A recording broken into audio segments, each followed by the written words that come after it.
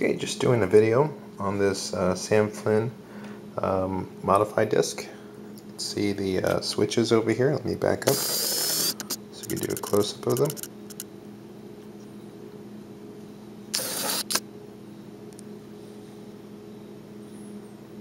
Okay.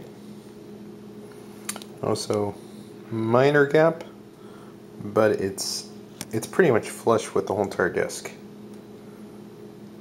I was able to shave off some some inside. And it's uh, actually looks pretty flush. So a couple things with this disc. Has the inner ring that turns on. Let me go ahead and uh, turn on the inner ring.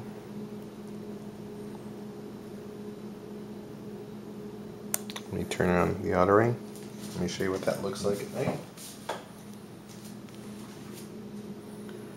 Okay.